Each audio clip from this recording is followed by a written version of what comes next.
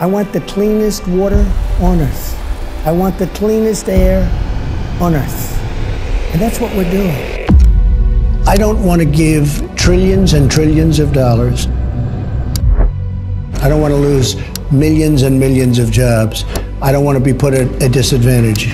Right now, we're facing a man made disaster of global scale.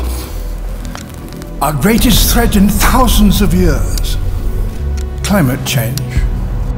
If we don't take action, the collapse of our civilizations and the extinction of much of the natural world is on the horizon.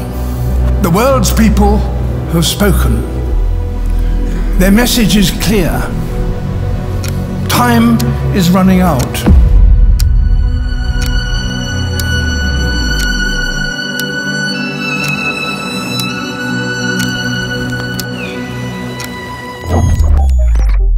The Earth's climate has been changing since its birth. But this change has been so drastic that more than 99% of species that ever lived went extinct. Since the last 10,000 years, when the climate has got more stabilized and the global temperature varied by only plus minus 1.5 degrees, we have been enjoying the predictive seasons, the good climate, and a beautiful variety of flora and fauna.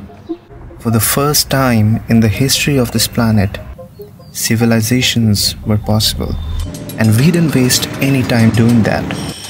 As we continued to grow and go through different ages and revolutions, we started consuming more and more energy.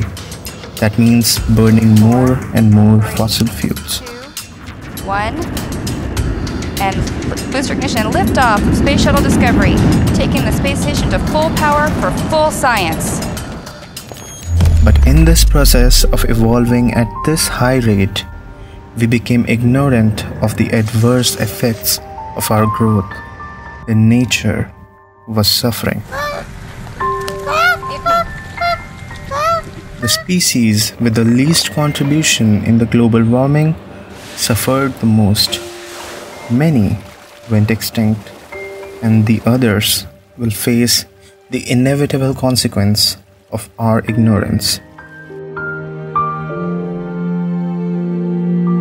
Climate change is no longer something that our future generations will suffer from. It is something that we are facing as well extreme weather with uh, extreme temperatures killing sadly hundreds of worshippers at the Hajj pilgrimage. Meanwhile in India, the capital Delhi has experienced its hottest ever June night. The European Union's climate monitor says that summer 2024 has been the hottest on record in the northern hemisphere. This is a tale of the most intelligent species being doomed by their all too human characteristic of failing to see the bigger picture in the greed of short term goals.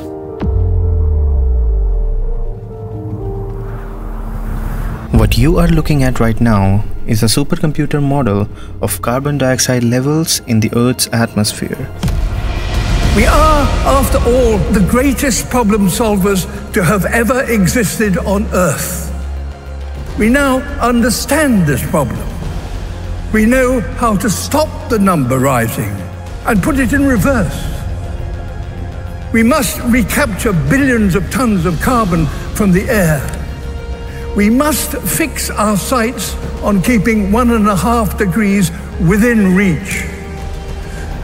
A new industrial revolution, powered by millions of sustainable innovations, is essential and is indeed already beginning we will all share in the benefits.